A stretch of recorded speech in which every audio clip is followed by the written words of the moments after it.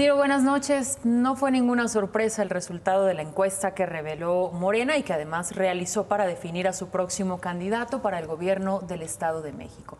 Los resultados dieron como ganadora a la secretaria de Educación, Delfina Gómez. En todas las preguntas que se le hizo a los encuestados, ganó Delfina. En la pregunta más importante que decía, de la siguiente lista, ¿Usted a quién prefiere como candidato o candidata de Morena? Delfina obtuvo casi el 38% de los votos. En segundo lugar estuvo el alcalde de Ecatepec, Fernando Vilchis, quien no alcanzó ni el 12%, luego el senador Higinio Martínez con el 8% y en cuarto lugar Horacio Duarte con el 4.8%. Durante este anuncio, Delfina Gómez, en una videollamada que, en la que se conectó con Mario Delgado, quien le notificó los resultados, dijo esto. No queda duda por los números, por las estadísticas, que usted es la mejor posicionada. vamos por la revancha, maestra. No nos la volverán a robar.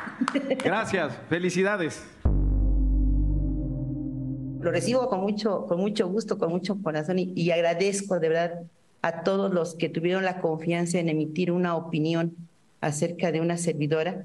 Me comprometo y mi compromiso va a ser el, el, dar lo mejor de mí día con día. Sé lo que significa, sé que es la gran oportunidad para muchos mexiquenses de poder modificar y cambiar lo que tanto anhelamos como, como ciudadanos y eh, refrendo ese compromiso.